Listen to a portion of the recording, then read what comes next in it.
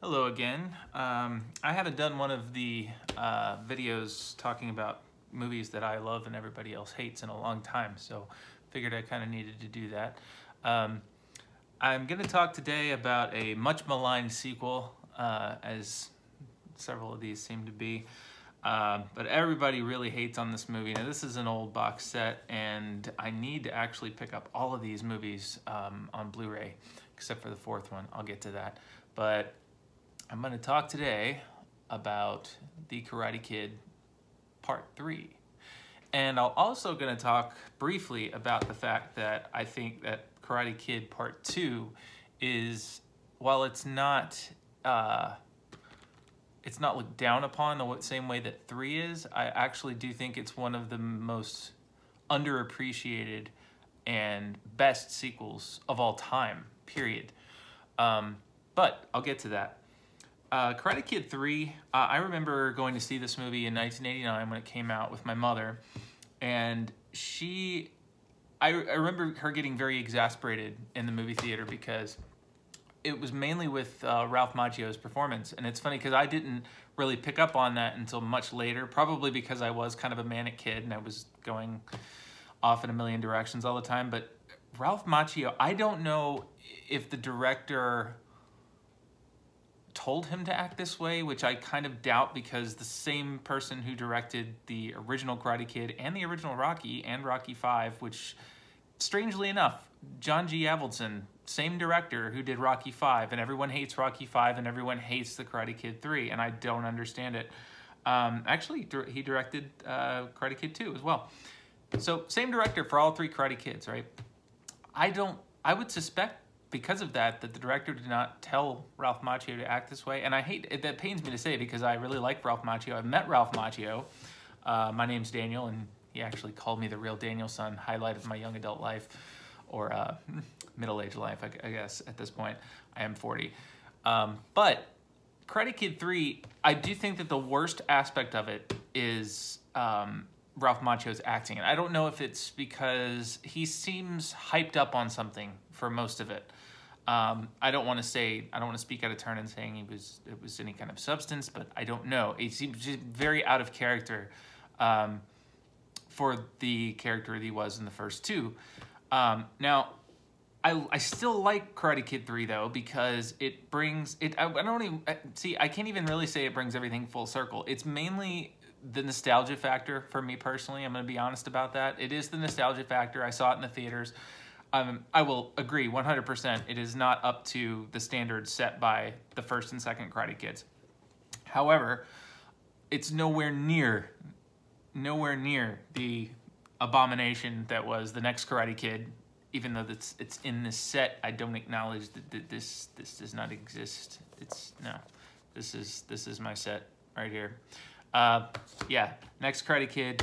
No, it's the Karate Kid, and the the remake. No, it's the Karate Kid. It's not. It's not. You know, this generation's Karate Kid. It's the Karate Kid. But anyway. Uh, third movie, the villain is hysterical. This is one of those movies, the best drinking game I ever had in my life was watching the Karate Kid trilogy all the way through. And every time Daniel gets hit, punched, knocked to the ground, whatever, you take a shot. I don't think I've ever been that drunk since. It was really, really rough. Um, so yeah, uh, by the time you get to Karate Kid 3, doing that I'm, I'm not going to base the film strictly on what is a good drinking game. However, I will say that if you do that, by the time you get to Karate Kid 3, you will have the time of your life watching that film. Uh, what cracks me up about watching the movies in release order, I'm going to get to that in just a second because I have something big to say about that, is how Daniel's karate seems to get worse, not better, as the films progress, which is kind of hysterical. Uh, because if you think about it, in the first movie, I mean, he you know he can be forgiven for not knowing a whole lot because he didn't know a whole lot. You, you know, he learned Karate Kid, or he'd learned uh, karate, I'm sorry, at the uh, YMCA. In the second movie, he actually fends himself off fairly well, um, especially given the fact that he's facing off against the star student of uh, you know Miyagi's best friend. I mean, and they were both they both had the same teacher, Miyagi's father. So um, yeah, Karate Kid 3, uh, I acknowledge that it's not as good as the others. Um, the worst thing about Karate Kid 3, outside of Ralph Macchio's acting, is probably, unfortunately, the final fight. Because if you think about the logistics of that, if you don't know, if you haven't seen the movie, well, you should stop this and watch and go see the movie. You should watch all three of the movies, uh, but you should you should give three a chance again because it, it's it, you have to watch it as a, an it's so bad it's good movie, and it is. It's so entertaining. Um, the villains really are just such caricatures of. I mean, you know, let's be honest. The villains were always caricatures in all three Karate Kid films, but especially in Part Three. I mean, the the villain is basically a mustache twirling. If he had a mustache, uh, ponytail wearing, giggling, uh, sadistic dude, and his name is Terry Silver okay? And he he mistrains daniel so that he learns all the wrong things. Anyway if you haven't seen the movie i'm spoiler territory now for those of you who care. Spoiler from 1989 uh, at the end of the movie they set up this scenario where the bad guy is going to get a point and then he's going to lose a point by inflicting some kind of bodily harm on daniel. So he's going to basically just keep the match going um, and as long as he can to, to hurt daniel as they go along this uh, this was funny for a couple of reasons. One, because nothing so severe happens to Daniel in this fight as what happened to him in the first fight. That's number one.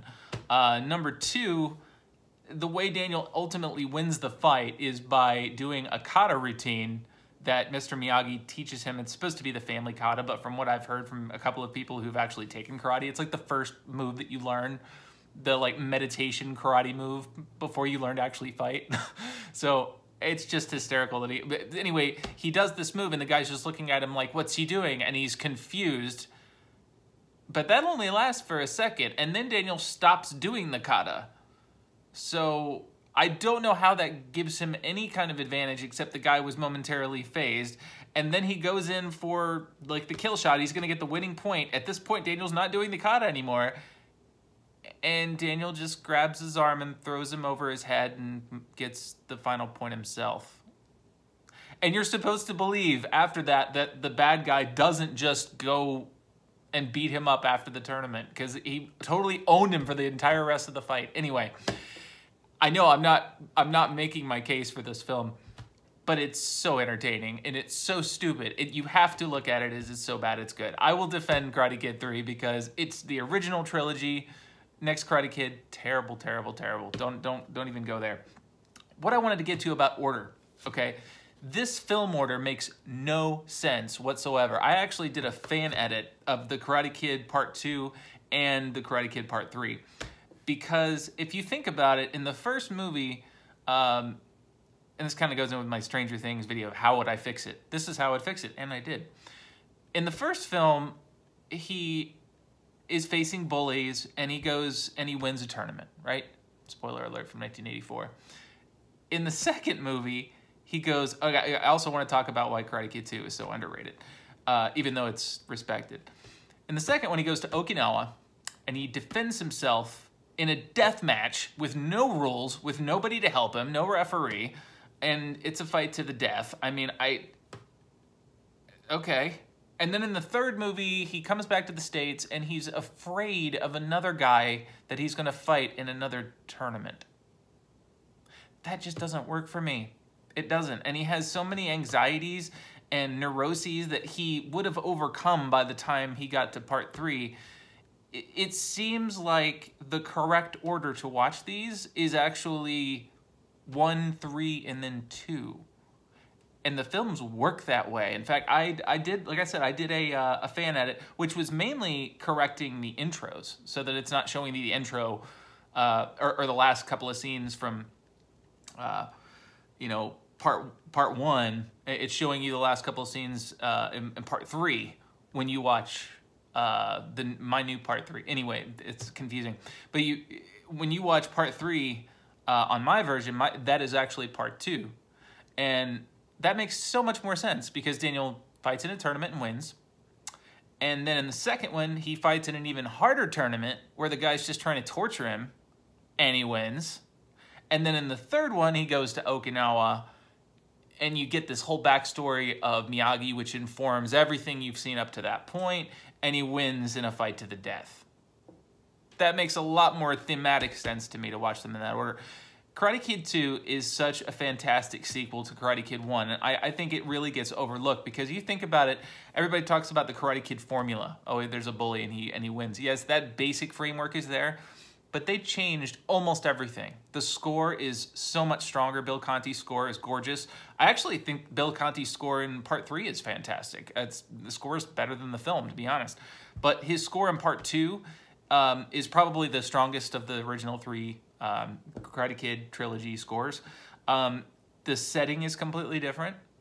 Um, the culture, like the way that they integrate the culture with the story, um, I just they they informed again, like I said before, they informed the Miyagi character. You learn things about him that you didn't know in the first film, um, and it just I all of the character. It's a it's such a natural progression from the first movie without just redoing the first movie, which is which is basically what they did in the in the third one, right? You see what I'm where I'm going with that. The third one is more of a remake of the first, which is what all the worst sequels do. Anyway, I'm going long on this video, but uh, Karate Kid 3, hilariously bad, but I still love it. And seriously, try that drinking game. Every time he gets hit, down a shot, amazing time. Anyway, uh, I will see you guys next time. I'll have to think of another movie that I like and everybody else hates. Until then.